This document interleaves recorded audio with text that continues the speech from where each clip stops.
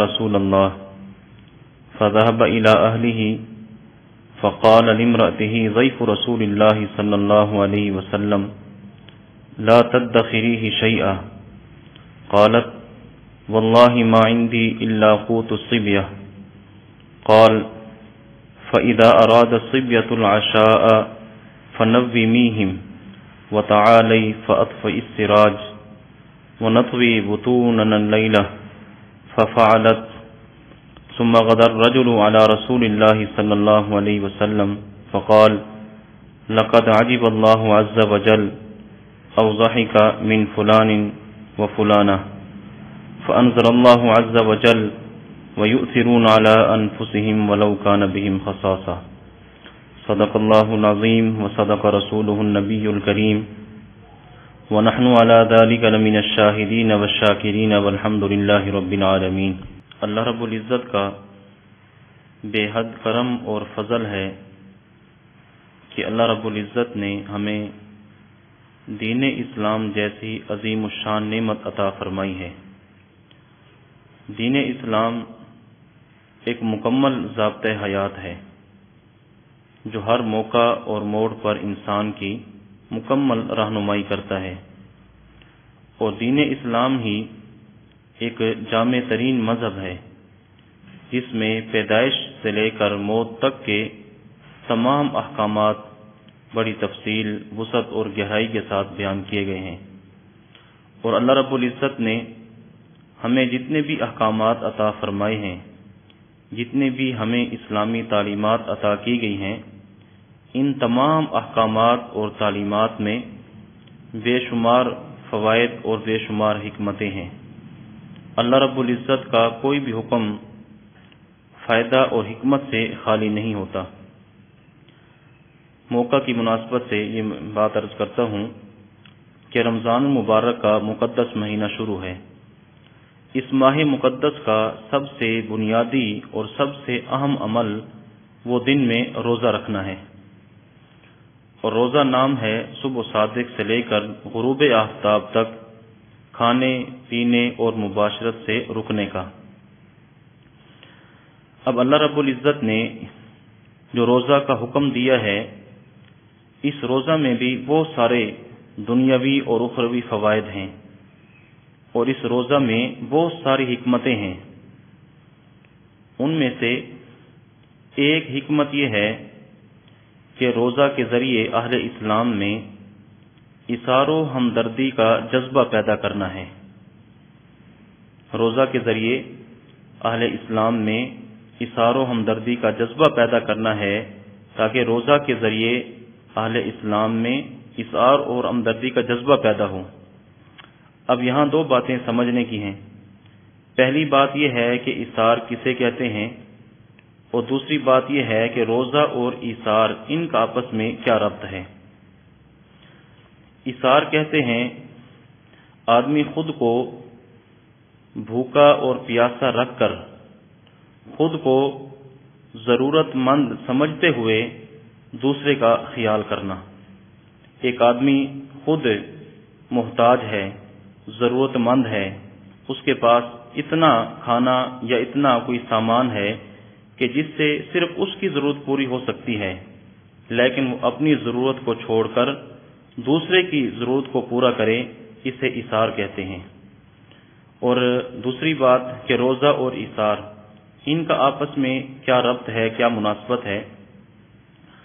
तो रोज़ा और इशार में मुनासबत इस तरह है कि रोज़ा में सुबह से लेकर शाम तक आदमी ने खाना, पीना और इन चीज़ों से बचना है। सुबह से लेकर शाम तक न आदमी खा सकता है, न पी सकता है। तो आदमी की भूख और प्यास की वजह से बड़ी अजीब कैफियत हो जाती है। उसमें नखात आ जाती है, कमज़ोरी आ जाती है, कोई काम काज करने को दिल नहीं करता, खाने पीने को दिल भी करता है, लेकिन इसके बावजूद अल्लाह रब्बुल इज़्ज़त का हुक्म समझकर वो भूख और प्यास को बर्दाश्त करता है। तो अब इस भूखा और प्यासा रखने से आदमी पर कोई जुल्म मकसूद नहीं है, उसकी तोहीन या तजलील मकसूद नहीं है, बल्कि इससे रोजेदार में ये एहसास पैदा करना है, इस बात की तरफ़ तो तवज्जो दिलाना मकसूद है कि देखें, चंद घंटे में तुम्हारी ये कैफियत और ये हालत होती है।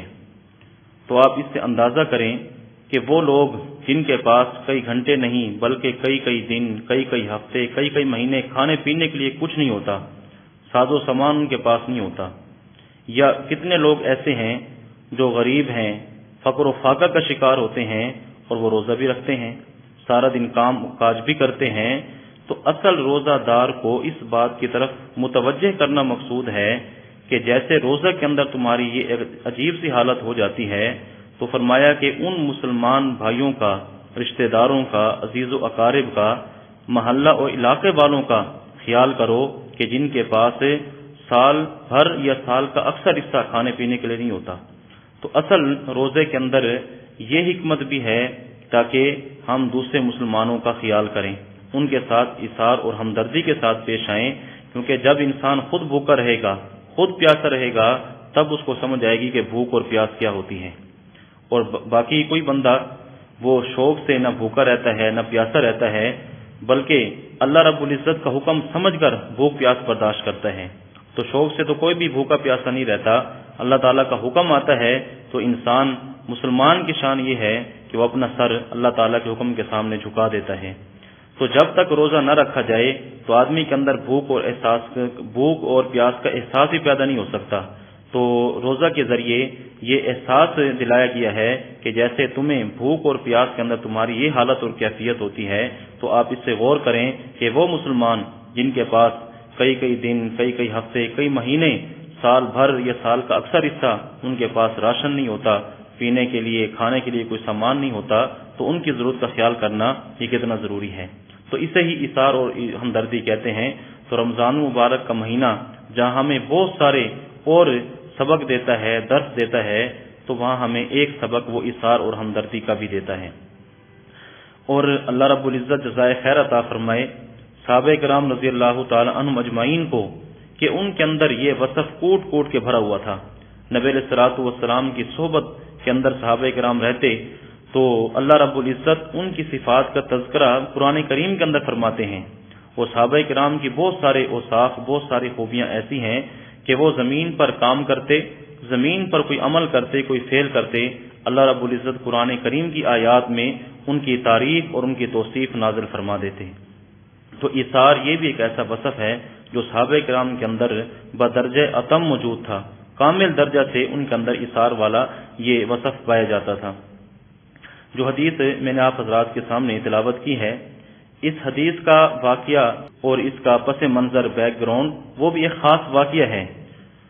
हज़रत अबू हुरैरा रजील्लाहु तआला फरमाते हैं कि एक आदमी नबी करीम सल्लल्लाहु अलैहि वसल्लम की खिदमत में हाजिर हुआ और अर्ज़ किया रसूल अल्लाह मुझे भूख ने सताया है। मुझे शदीद भूख लगी है। मेरे लिए कोई खाने पीने का इंतज़ाम करें। तो नबी करीम सल्लल्लाहु अलैहि वसल्लम ने अजवाज मुताहरात के यहाँ पैगाम भेजा कि कुछ खाने पीने के लिए मुयसर हो तो दे दें।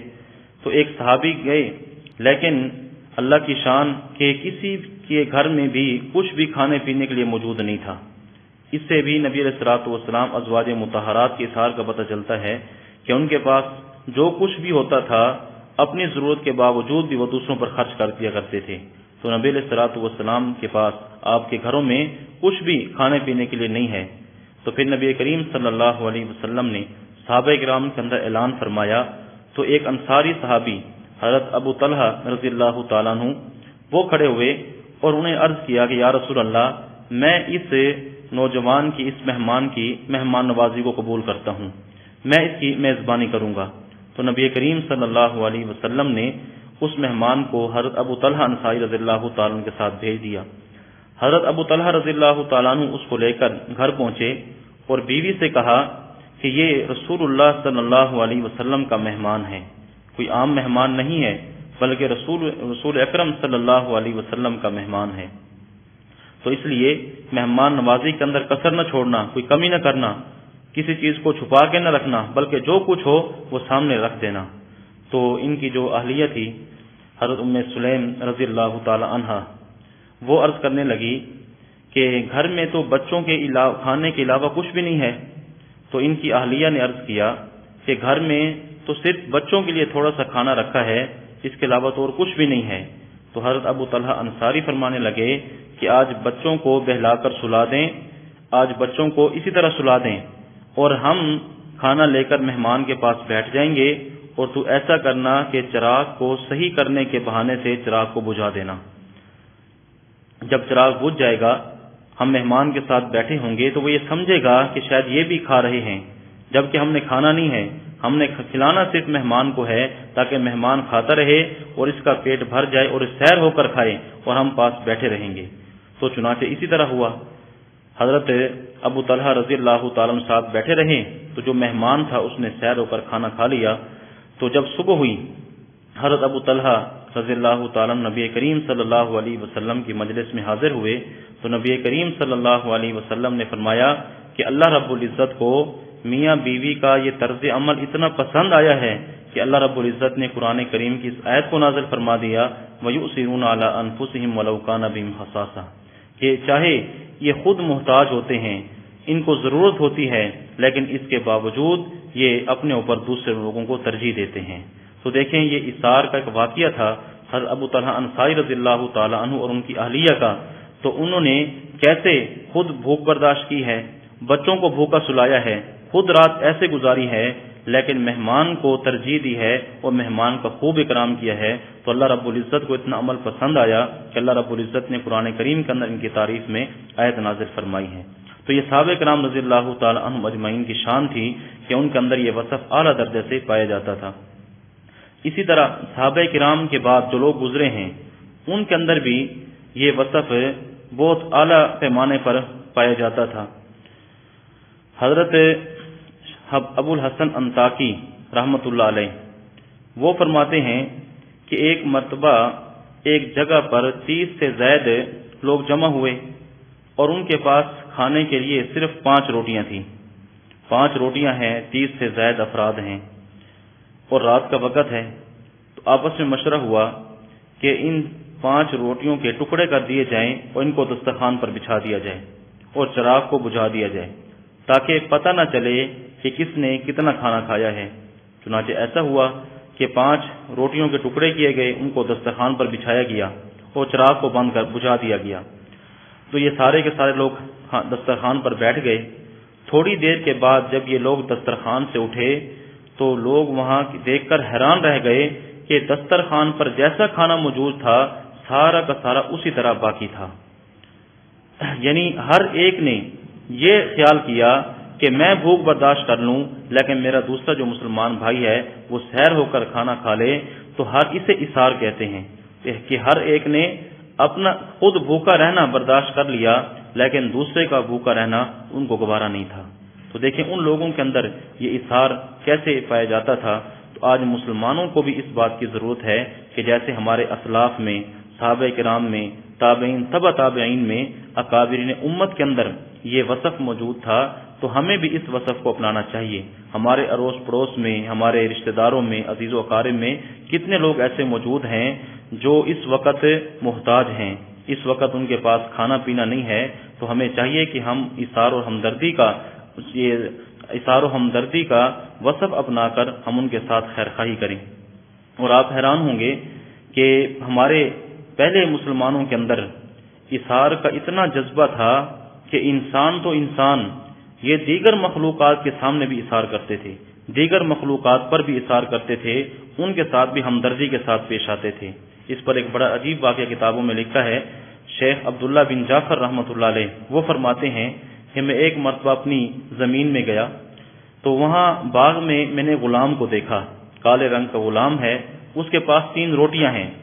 वो जैसे ही खाना खाने लगा तो एक कुत्ता सामने आकर खड़ा हो गया। तो उसने एक रोटी उठाई और कुत्ते के आगे डाल दी। कुत्ते ने वो रोटी खाई, फिर वो सामने आ गया। तो उसने दूसरी रोटी उठाई, वो कुत्ते के सामने डाल दी। कुत्ते ने तीसरी, दूसरी रोटी खाई, फिर वो सामने आके खड़ा हो गया। तो वो जो गुलाम था, उसने तीसरी रोटी भी कुत्ते के सामने डाल दी। अब कहते हैं, अब्दुल्ला बिन जाफ़र कहते हैं कि मैं ये सारा माजरा देख रहा हूँ। तो मैंने उस गुलाम से आकर पूछा कि आपको रोज़ाना कितनी खुराक मिलती है? तो उसने कहा कि जो आपने देखा, मुझे ये तीन रोटियाँ मिलती हैं।